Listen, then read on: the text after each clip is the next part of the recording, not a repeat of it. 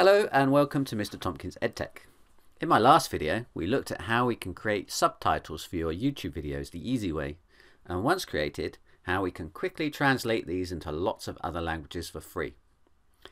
This is a follow-up to that video or part 2 of the process. So if you missed part 1 you might want to click on the card appearing at the top of the screen now, watch part 1 first and then come back to watch this one afterwards.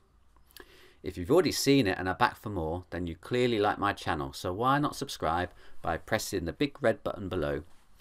That way you'll know when I upload more useful videos to help you to help your YouTube channel grow.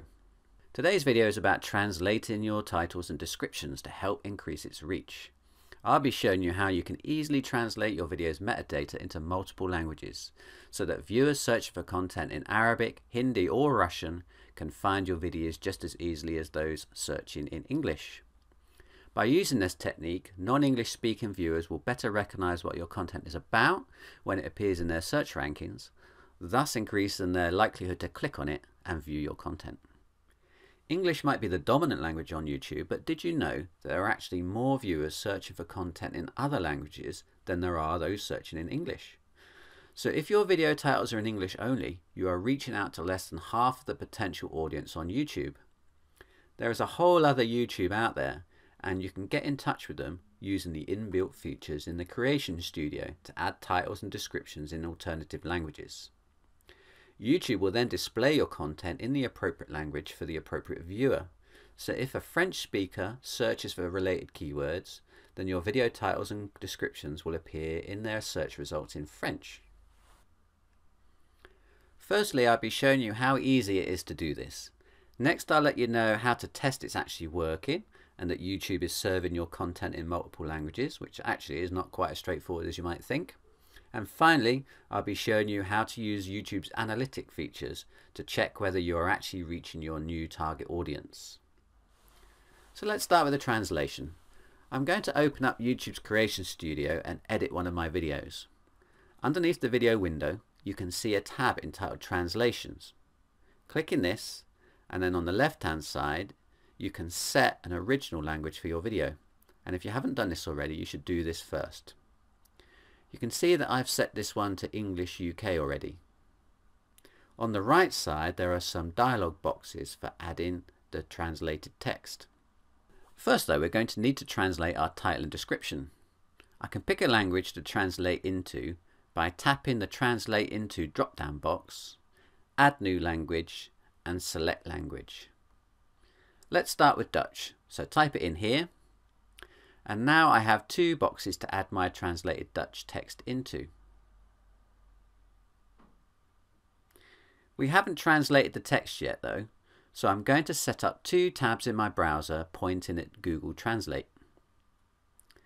Copy the title text from your YouTube screen and paste it into the left hand side of the first Google Translate screen. Next copy the description text from YouTube into the left hand side of our second Google Translate screen. Before translating, you might want to review and simplify the language used in your title. Different languages can have very different rules for grammar and auto-translation tools are far from perfect. So keep it simple, remove prepositions where possible and make it more bullet point. I'm going to pick Dutch from this drop down menu, copy the translated text by pressing this button here, and then I simply paste it into the top box of the YouTube edit screen. Doing the same with my description text, translate into Dutch, copy button, paste it into the YouTube screen. Now click Save Changes and we're done. It's very simple to add more languages. Tap the Translate Into button again, choose another language, this time I'm going to add German. Back to our first Google Translate screen, change the translation language to German, copy and paste here. Then to our second Google Translate screen containing our description, change that language to German as well, copy, paste in the second box and save. Rinse and repeat for whichever languages you wish to translate into. Now when I first tried this out for myself I was actually doubting it was working as I couldn't find a way to make YouTube show me the translated text. I tried changing the language setting in YouTube, in my Google account and everywhere else I could think of, but I couldn't get it to show up. I thought I must have missed something somewhere, but then I found out that YouTube looks at your search history when deciding what language version to serve you. So when I switched my preference language to say Dutch, it would still only show me the English version of the text because it knows that's what I usually like to watch. So to test its working, you need to start a private or incognito mode in your browser first, then switch your language. So let's give it a go. I'm going to search for one of my videos having first set my preferred language to Dutch. I'll search using English keywords because I'm not yet ranking as highly using the Dutch ones.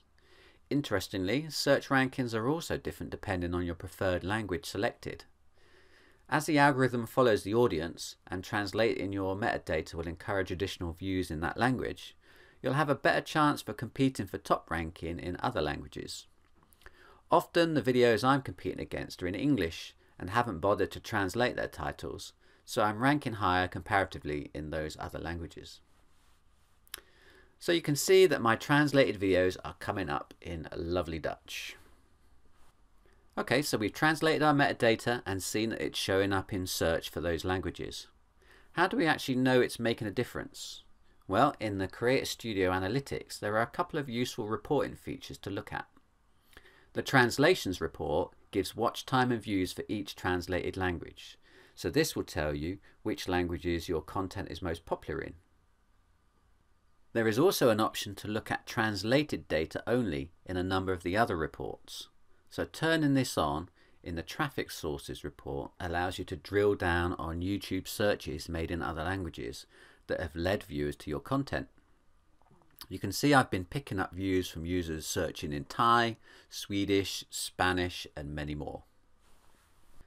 So over the last two videos we've seen that we can use translation tools to create captions, titles and descriptions in multiple languages which will increase visibility of your content to non-English speakers and boost your watch time.